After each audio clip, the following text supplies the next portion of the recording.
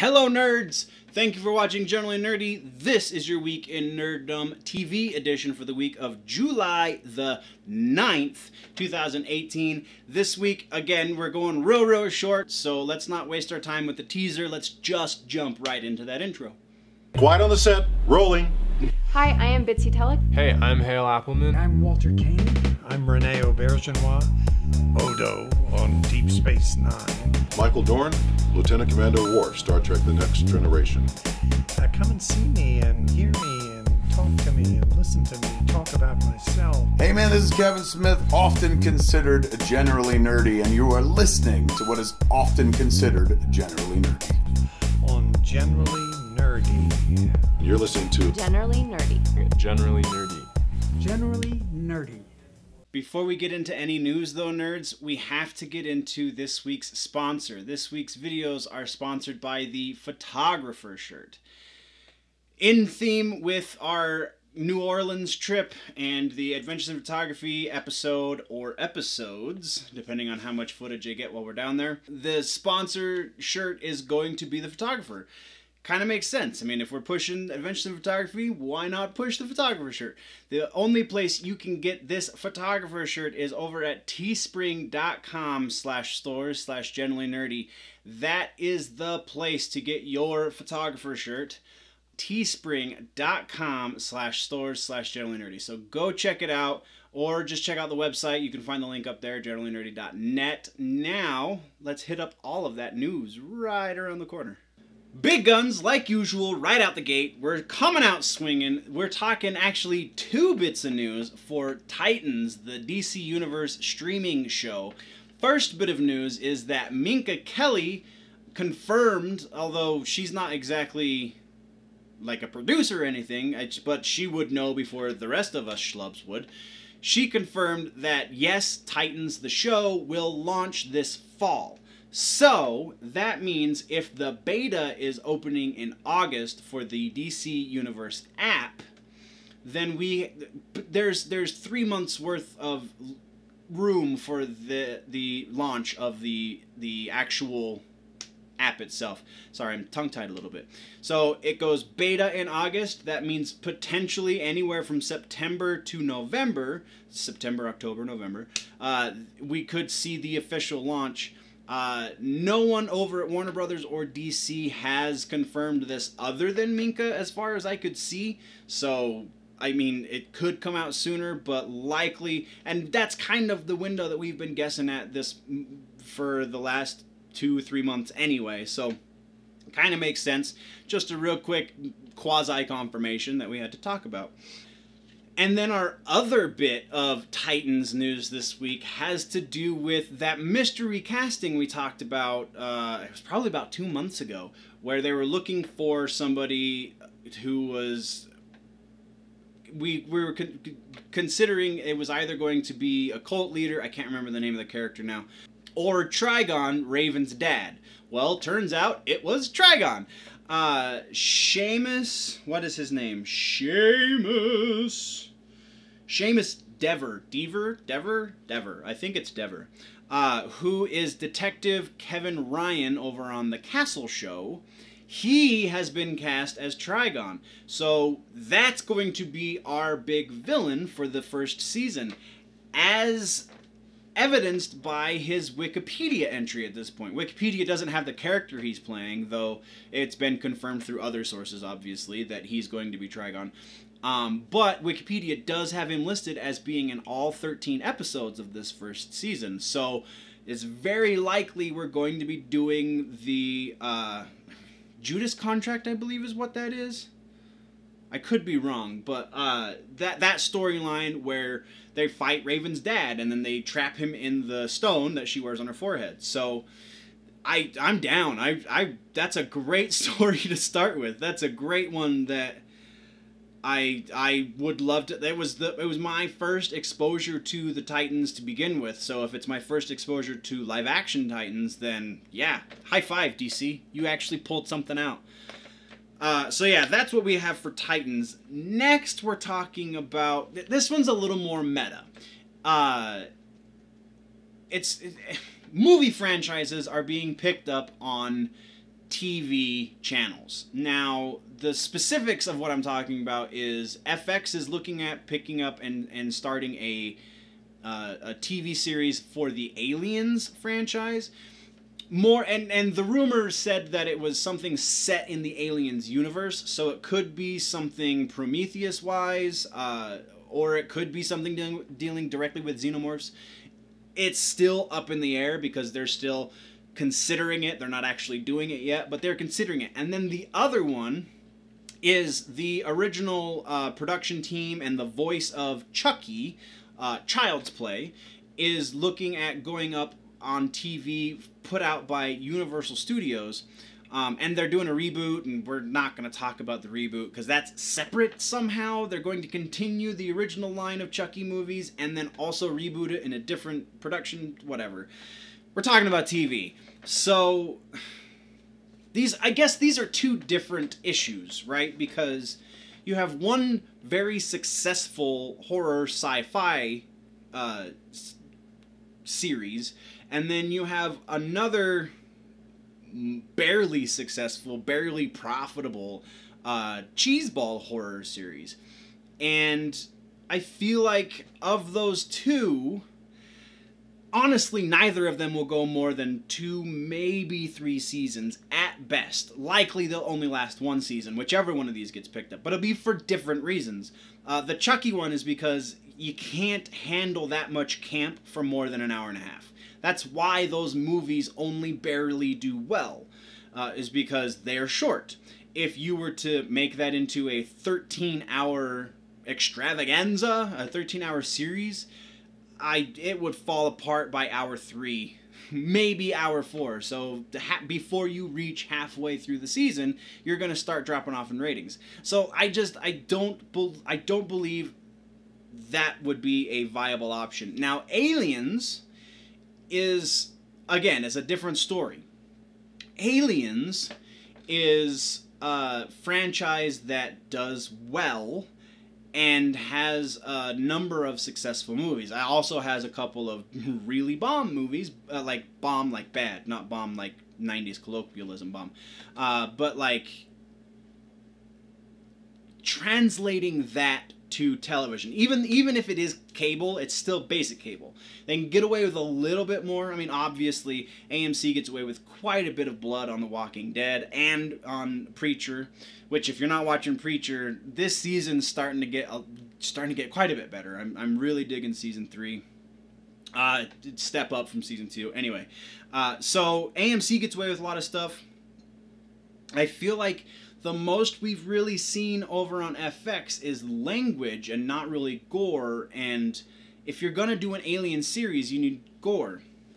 This one I feel like will lose steam by the end of the first season, which is why I say it'll la- it'll probably it possibly last two seasons, maybe three, but I can't see it going longer than that.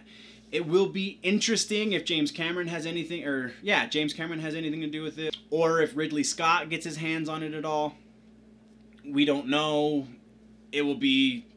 I mean, it wouldn't be the first time that I, either of those guys have dabbled with television, but I still don't think that that is going to make it successful in the long run, unless they're only going to do one or two seasons. Then, yeah, I feel like that's a that's a great gamble to take because that is a universe that I feel like the audience will buy into. Now, the meta part about this is is this TV's the beginning of the end for television? I know people have been have been hearkening the end of television since we started uh, streaming, but does does this mark something like a milestone in television that they're looking to because movies have been borrowing from comic books for a while. Now TV is starting to borrow heavily from not just comic books, but uh, literature or literature, but also from movies themselves. So.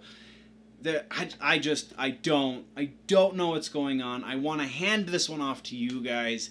Is pulling a movie franchise into the realm of television is that a good thing in general and then more specifically are either of these ideas child's play or aliens do either of these strike you as a great or even a good idea to translate onto television, let me know. Let's have that conversation down in the comments.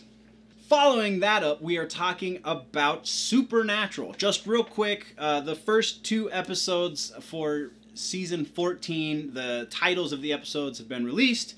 Uh, episode 1 is called A Stranger in a Strange Land, and episode 2 is called Gods and Monsters.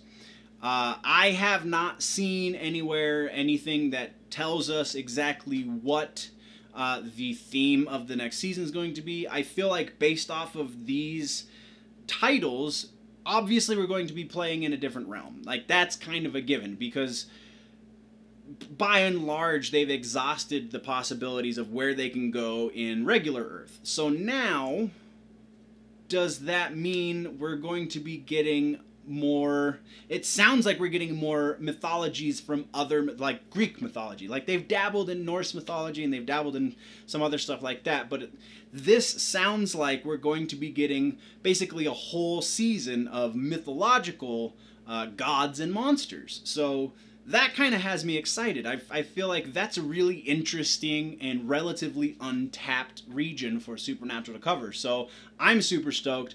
You guys tell me how excited you are, or if you know something more about what exactly these titles are implying. Like, let me know in the comments down low. Next, we're talking about a thing that I, I tried to do a video, but I just felt like I wasn't as eloquent as I could have been, so it never got posted. Um, but the Conners. It's it's Roseanne without Roseanne. So Roseanne herself is actually still getting paid because she created these characters and this is the world that she created. So therefore she gets royalties. So it's not that. Um, but because of the the Twitter rampage that people are saying, the Twitter escapade, the issue that she had on Twitter just a couple months back, um, she got pulled off. That's everybody knows that. So this is what I'm handing off to you guys because we are coming towards the end of the summer and now this has been confirmed as of like two weeks ago, maybe three weeks ago now, uh, that the Conners is going to be what they're going to fill that empty slot with. So it's still Roseanne, so hopefully it's still the same quality, though I feel like a lot of the character for the series comes from the namesake, Roseanne. But what what are you guys hoping as far as how they phase out Roseanne? How, are are they going to acknowledge it at all? Are they going to kill her? I feel like that is a, a little bit shooting themselves in the foot. Although they did technically kill Dan before season 10's and then he came back, so I don't know. I just feel like eventually something's going to happen and Roseanne is going to not be in this cloud of, oh, she's a racist, even though, whatever, we won't get into the politics of it. Uh, so eventually that stigma is going to loosen up a bit. I don't know that she's ever going to get away from it, but it's going to loosen up a bit so that she can start working again, eh, should she choose to. Uh, so if the Conners is still on the air at that point, then I feel like it would behoove them to work her back into the the world, to work her back into uh, the show. So I I personally don't think they should kill her, but I feel like it is a definite possibility. Again, what this is a conversation. So what do you guys think? And then a sneaky end bit. We are talking about Game of Thrones. Oh boy. Oh boy.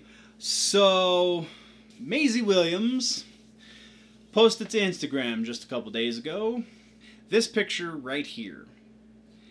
And you might not be able to read but so and it's not super important aside from the hashtags that she used.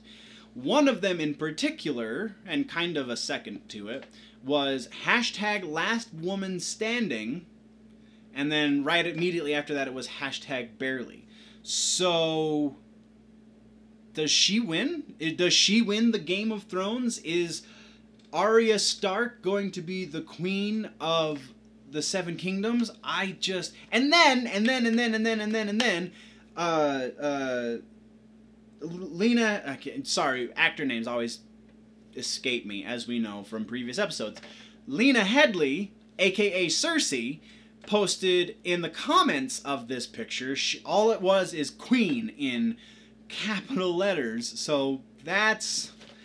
And then you throw in the fact that Emilia Clarke, uh, Daenerys, was done filming like three weeks ago, and I, we might have just spoiled the end of Game of Thrones. Does that mean that Jon Snow dies too? Also, does that mean they're done with every episode? And so we still have to. Well, I guess there's going to be a lot of editing. It's it's a nine-hour movie, so just I uh, so many questions, so so many questions, and we have to leave you with so many questions because that's the end of the episode. What did I miss? What should we talk about next week? Let me know in the comments down below. If, though, you want to go deeper into the conversation, jump over to the website, generallynerdy.net. That is the place that you can go to get all of the freebies and the social media links and the links to the store so you can get your nerdy swag. Generallynerdy.net is the only place to get this stuff.